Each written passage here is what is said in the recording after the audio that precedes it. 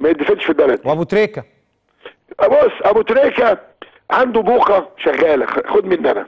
تمام اللي يرفض يمد ايده لوزير الدفاع المصري المحترم مح- المشير طنطاوي.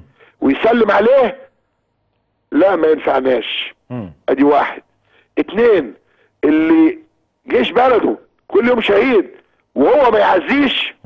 لا هو حضرتك هو يعني يعني انت وطنيه انك بتجيب كوره برجلك إيه يعني مش فاهم يعني الكوره برجلك يعني. يعني إيه عملت لي إيه؟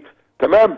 طب هو أنت لما كنت بتجيب الكوره برجلك سواء في الأهلي المنتخب كان مجانا ولا كان بفلوس. ما أنت كنت بتقبض. ولا كنت تعمل كده حبا للبلد؟ تمام؟ نمرة ثلاثة لما طاهر أبو زيد الوزير المحترم النظيف الشريف المحترم خلاص يجي عشان هيسلمك كاس آه، الأهلي مش عارف كان فاز ببطولة. ها؟ تروح هربان عشان ما تسلمش عليه وتقول له أصل ده من الف... هو أنت بتخرج فأنا بقول فرق بين أبو تريكة رجله وفرق بين أبو تريكة عقله. عقله راح للإخوان. عقله راح لرابعة. خلاص؟ مم. انت يا عم كنت بتجيب اجوان خدت فلوسها. ولا كنت ب... حلوة الحكاية دي فرق ما بين رجلة وتريكة وعقله. بالظبط كده. حلوة دي. آه رجلك جديدة. يا عم جابت اجوان وخدت ثمنها. ما انت بقيت مليونير منين؟ والشركات دي عندك منين؟ من رجلك. وفلوس الشعب المصري. ما كنتش بتلعب مجانا. فأنا بقول أهو تاني البخل اللي شغالة لا.